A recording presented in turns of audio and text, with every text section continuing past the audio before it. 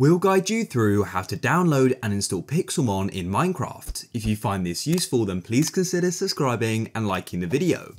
First of all, go and quit Minecraft. Now what you need to do is go and open up a web browser, but just before we get any further, a big shout out to our sponsor, Apex Hosting. They're my go-to Minecraft server host, and they've got so many awesome features. For example, one-click mod packs, which means you can super simply play mod packs just like Pixelmon with your friends. DDoS protection, 24-7 support and servers, so you can get help within a live chat at any time you need it, ultra latency and so many more as you can see here.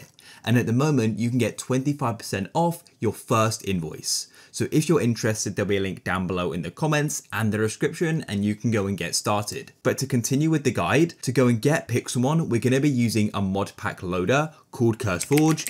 It's also got other features as well. So come to curseforge.com. Once you're on the site, go to the top right and click on Get CurseForge app and then all you need to do is come down and click on download standalone, just like this. After it's downloaded, come out of your web browser and open up your file explorer, come over to the left into downloads and go and find it.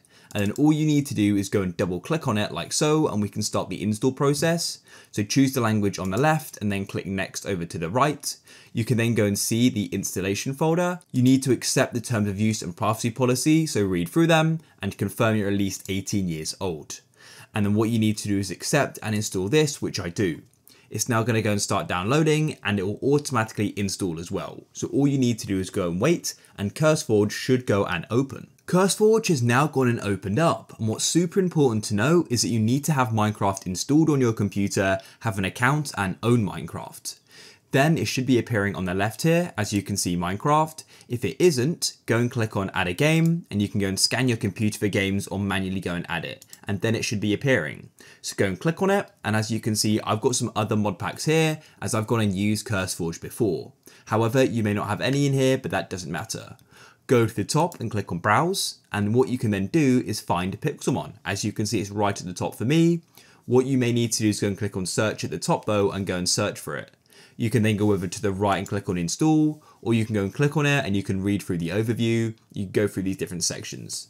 But what I'm going to do is go and click on install over to the right and now go and wait. Once it's finished, you'll go and see an option for play over to the right. And also if you then click on my mod packs at the top, you'll go and see Pixelmon here as well. And then what you can do is go and click on it and you can then go over to the right and click on play.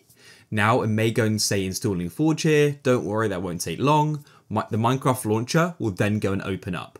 And if we go over to the left from play, you'll go and see the Pixelmon mod pack as one of the profiles. And you can then go and click on play and it's now going to go and start. And here we are, it's now gone and loaded and now we can go and get started. So what you can do is go and click on single player and what we can then do is go and create a world. You can go and choose your starter Pokemon by clicking on it and we can then click on begin your adventure and we can go and get started. So Pixelmon is super cool and it adds so many different aspects to Minecraft and yeah, it completely changes your experience as you're playing with Pokemon, right? You're going to notice quite a few little changes with Pixelmon which I really like, some subtle, some are more obvious, but all in all it's a really great mod pack. And with CurseForge you can get loads of other mod packs as well, you can simply go and search for them and just go and browse through as well. Overall it's a really great app and more specifically Pixelmon is a great mod pack. And if you want to go and play with your friends, then you can go and use Apex. On Apex, you can super easily install mod packs, literally in a couple of clicks, as we said on the website. Um, and you can then go and start playing with your friends, and your server will always be online as well. So a big thank you to them for sponsoring this video. We really do appreciate it. If there are any specific guides you'd like to go and see, then please go and tell me below in the comments and I'll try best to go and make them.